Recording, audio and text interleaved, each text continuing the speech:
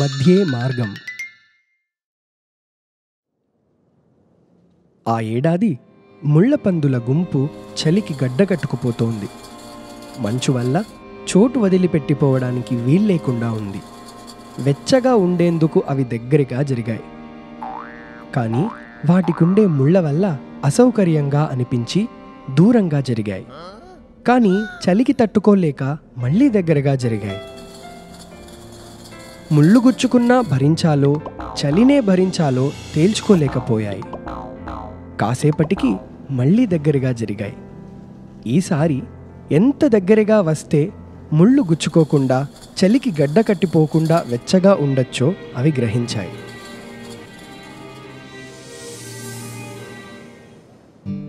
గుర్తుంచుకోండి కుటుంబంలో కూడా కొందరి ప్రవర్తన మాట తీరు గుండెల్లో గుచ్చుకునేలా ఉండొచ్చు.